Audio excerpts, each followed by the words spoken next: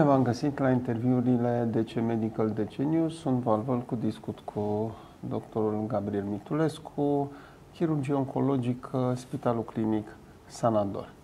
Domnule doctor, ați uh, efectuat recent o operație extrem de complicată, de grea, aveți multe astfel de intervenții, a durat peste 16 ore.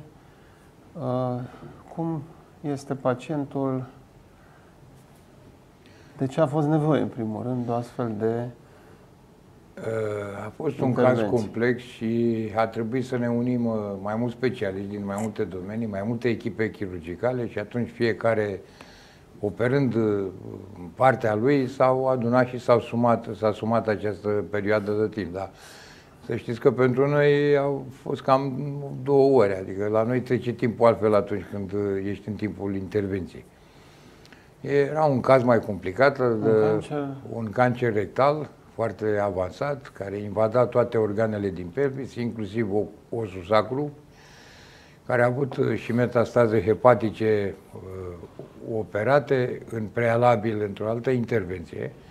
Dar în momentul prezentării la această intervenție mai avea un nodul suspect în segmentul 2-3. Și atunci intervenția a debutat cu abordul ficatului, care a fost uh, uh, disecat din aderențele anterioare și cercetat prin ecografie intraoperature ca să nu rămână cumva vreun nodul.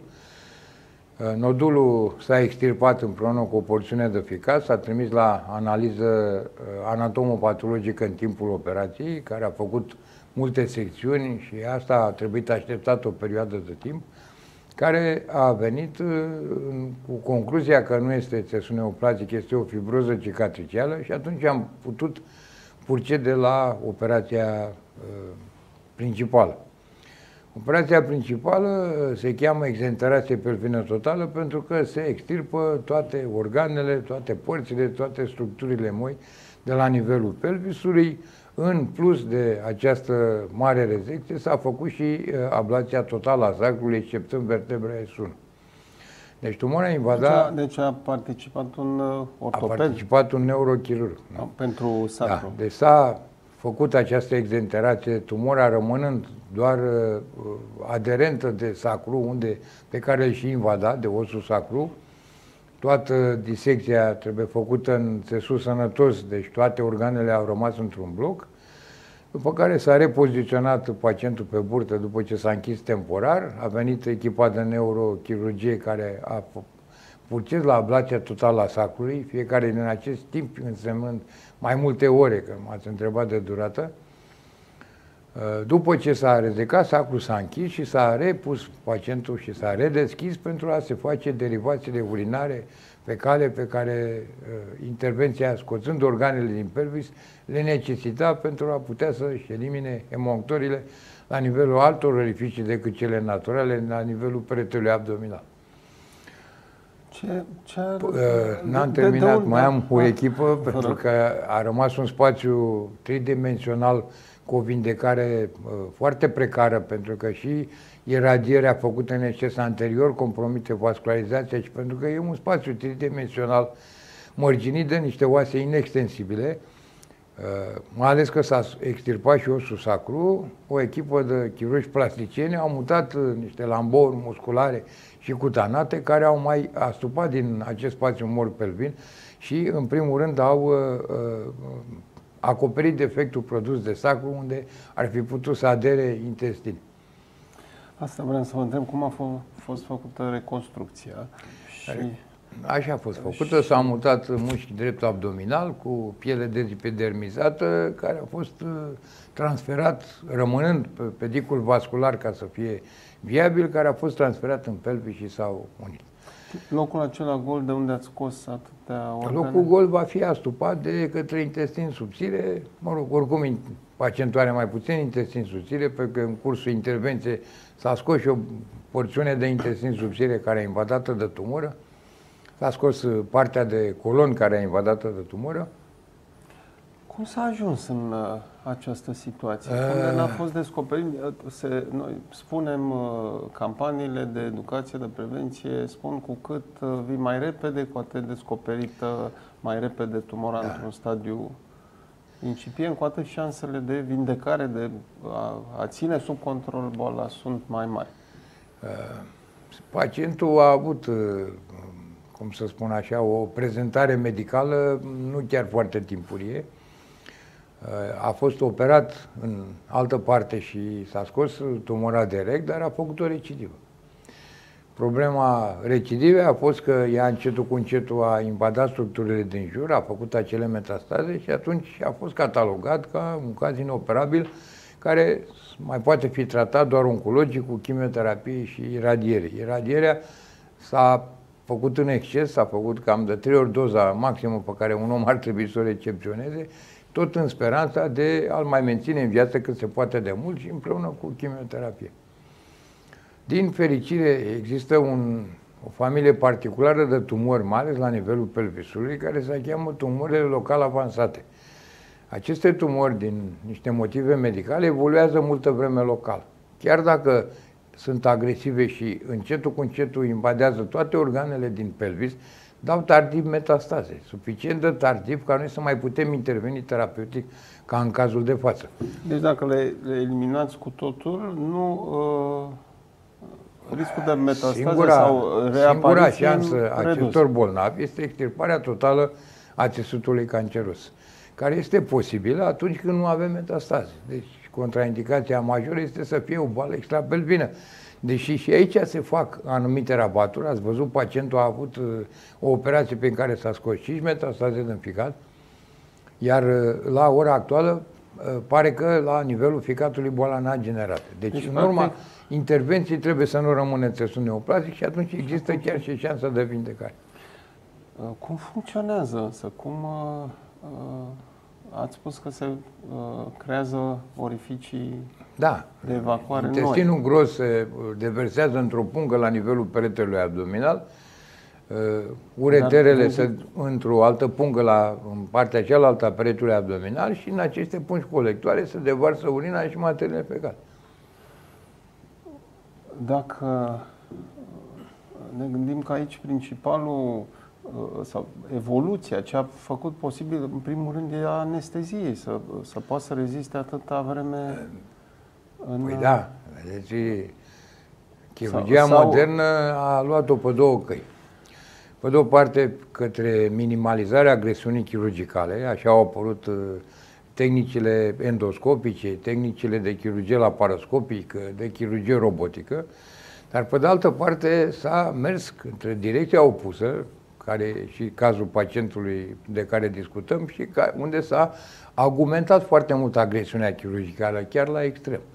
E, această uh, posibilitate operatorie de a scoate, de a face o exenterație pelvină totală exista și înainte, numai că nu supraviețuiau pacienții. Supraviețuiesc acum pentru că tehnicile și uh, medicamentele din terapie intensivă s-au, uh, s-au dezvoltat foarte mult, iar fără anestezie nu există o intervenție de asemenea învergură. Iar la noi în spital, cred că este un corp, dacă eu aș zice, dar mă rog, ca din casă că e cel mai bun corp de anestezie din București. Ce ar fi trebuit să observe uh, pacientul uh, ca să ajungă la timp înainte de toate aceste uh, E o discuție, de nevoia unor da, intervenții da, E o discuție de complicată. complicată. Deci el a avut un cancer direct, adică un cancer de intestin gros. Cancerul de intestin gros, când dă primul simptom, există două luni. Adică în momentul în care se, dacă ar fi sesizat la primele simptome, dar de regulă pacienții nu se prezintă nici în stadiul ăsta, oricum nu prea mai puteam vorbi de un cancer descoperit incipient, pentru că el exista două luni atunci când a început să se manifeste. Dar dacă pacientul sângerează și crede că are hemoroizi, dacă pacientul are tulbură de scaun și crede că are o enterocolit și așa mai departe și până când nu slăbesc 20 de kilograme de regulă nu vin, nu e o eu știu, un semnal de alarmă. Un da. semnal util și Ar, nu e o descoperire incipientă. Aceste metode de screening, uh, identificarea de sânge în uh, Nu, nici aia nu e. Și aia, mie mi se pare o prostie, pentru că în momentul în care uh, sânge în scaun, în primul rând poți să de la hemoroizi. Deci nu spune nimic clar asupra etiologiei sursei sângerării. Dar în momentul în care o tumoră sângerează, v-am explicat, era deja veche. Eu nu trebuie să descoper sângerarea în scaun. Noi trebuie să facem colonoscopii, pentru că 99% din tumorile astea de colon și de rex se nasc din polipi cu care omul stă ani de zile până când un polip să vireze să, într-o displazie severă și către cancer. Este suficient timp că dacă se face colonoscopia și se extirpă polipii, pacientul nu va mai face cancer. Deci a, asta este prevenția, asta este timpurie. Atunci când se extirpă polipii cu o manevră foarte simplă, endoscopică, se fac absolut în toate unitățile medicale din România. La ce vârstă ar trebui să fac anual un astfel de control? Uh, și cine? Clasic se spunea că după 50 de ani, după părerea mea, ar trebui făcut uh, atunci când uh, pacientul e suficient de matur să poată să bea pregătirea de prafuri cu care să dea acolo. Eu am operat și la 16 ani, și la 14 ani cancer de colon, și la 18, și la 21. Slavă Domnului că, mă rog, din cauza noilor reguli în România, nu mai am voie să operez sub 18 ani copii și atunci am scăpat că este foarte uh, neplăcut să operez copii. Stresant. Impactul psihologic e mare, dar uh, de cealaltă parte, la, până la ce vârstă uh, poate fi practicat o astfel de intervenție eroică, păi, masivă? Nu există o limită de vârstă Adică suportă deosebită. organismul? Da, depinde de anestezie, dar depinde de statusul pacientului, depinde de comorbidități. Dacă nu sunt comorbidități importante, pacientul nostru nu avea nicio... Avea 60, are 68 de ani și nu avea nicio boală deosebită uh, alăturată. Dacă pacientul are comorbidități importante, atunci nu are cum să să reziste și să reziste la o asemenea intervenție. Stresul e unul major, stresul chirurgical. Da, stresul este... Te-ar călca trenul. Cât durează recuperarea? Adică el, el se poate întoarce la o viață, să păi, zicem, normală, inserată social? pus pe picioare 5-6 zile de la intervenție, a început să meargă, a mai făcut recuperare și în, în spital. A 14-a zi a fost externat pe picioarele lui. Sigur că recuperarea completă durează și un an și mai mult până când va fi într-o condiție uh, biologică deosebită, dar el cam la 4-5 săptămâni de la intervenție trebuie să înceapă un tratament oncologic de consolidare, pentru că poate că în timpul intervenției Poate s-au mișcat niște grupuri de celule care au plecat la plimbare prin sânge și ca să nu avem surprize, ar trebui să facem, să facem un tratament oncologic de consolidare. Uh, din, din, de aceea, la Sanador, din câte știu, funcționează tumor board Sunt uh, da.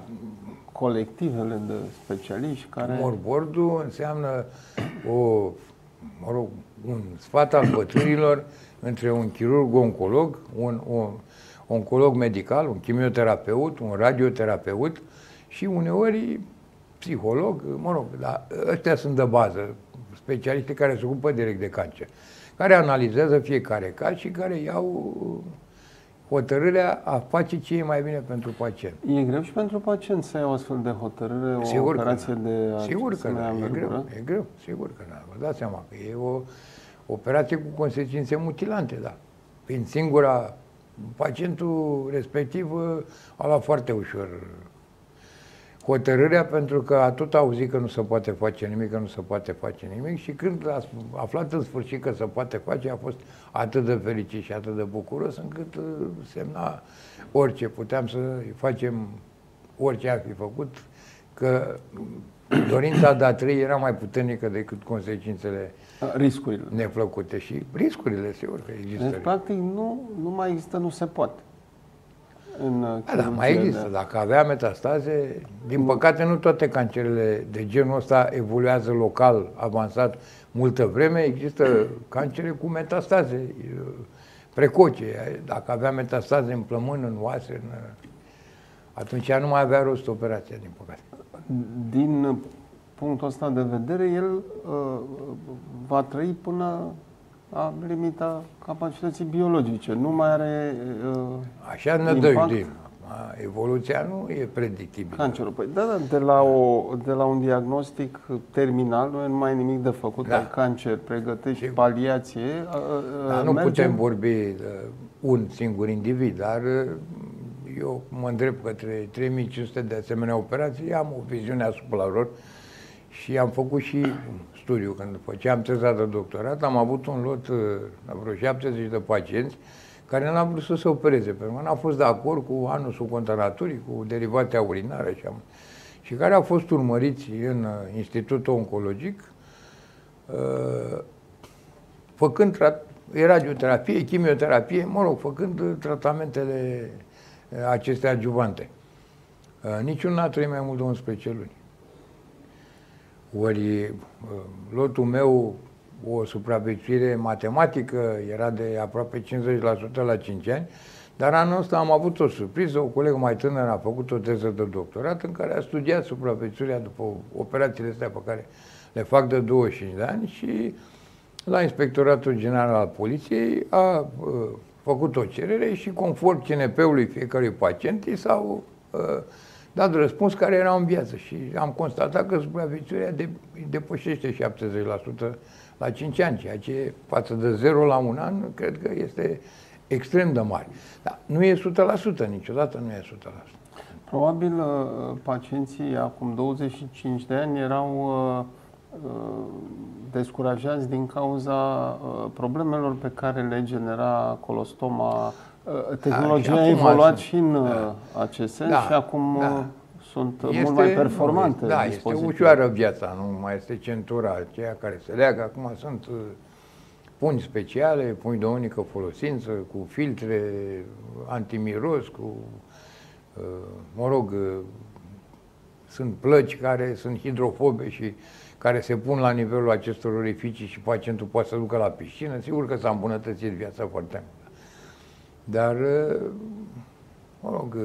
Uh, o întrebare delicată. Așa. Uh, colegii noastre medici știu că există această tehnică, vă trimit pacienții. Există un, o zonă de înaltă specializare care ar putea, un centru de excelență. Să Teoretic, cred că știu că am fost, mă rog, la toate congresele cu lucrări de genul ăsta, dar de trimis nu prea trimis, pentru că, mă rog, mai ales uh, chirurgii nu există. N-am avut niciun... pentru că nu se uh, nu consideră necesare sau, nu, sau le fac în alte... Cam care e Cred că preferă să le consideră neoperabile. neoperabile și e mai simplu așa. Sunt uh, foarte puține uh, cazuri de chirurgi care îmi trimit. De regulă, pacienții din păcate ajung pentru că au auzit de un alt pacient sau uh, uh, oncologii mai trimit la...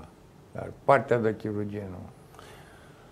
Uh, domnule doctor, mă bucur că am uh, făcut această emisiune. Poate nu află mai, uh, mai mulți pacienți, mai mulți colegi de dumneavoastră, că nu există, nu se poate opera în multe cazuri care până acum era considerate inoperabile, Vă felicit și uh, vă mai aștept la... A, încă o dată, nu e neapărat meritul meu. Dacă nu era neurochirurgul, dacă nu era plasticianul, dacă nu era anatomopatologul, dacă nu erau oncologii, radioterapeuții, radiologii diagnostic, psihologii, kinetoterapeutul care a venit după operație, chirurgul plastician care a făcut reconstrucția.